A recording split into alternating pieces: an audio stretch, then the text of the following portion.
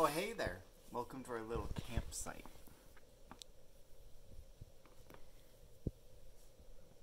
Welcome to our little campsite. Um, let's start out here. As you can see, we have our moonless chair. Nice. I don't know. but uh, these chairs are actually pretty comfy. It's pretty nice. Pretty nice.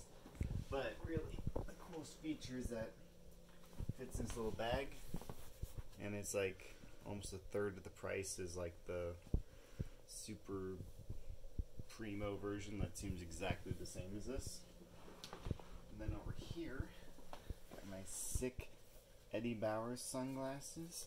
And these are obviously here because it's really sunny out today. If you look up, if you look up, if you look up, really see the sun. It's just like really intense right now. So you got your sunglasses, that Colorado sun, and then the same sun theme. Got the uh, Goal Zero Nomad 50 solar panel over here. Alright.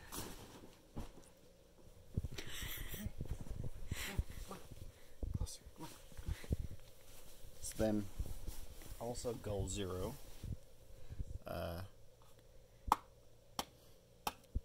200X. And that's our little power station. It's powering these cool camping lights. They're super low power, so we could run these lights for a very, very long time off of one charge. And this will actually charge off that solar panel. So those camping lights. It's pretty cool, pretty cool. A little carrying case for the little guy. Keep him safe. Um, and then we've got our very trendy REI uh, bag here for packing all our clothes and goodies. And then you can see the Nintendo Switch is charging off of that power bank too. That's pretty cool. And then over here, here's for the adults only. What is it? What's that? Got your hard seltzer. Mm. Just hanging out in here with Brian Seltzer. They're all just in there chilling together in this little, little cute little bag.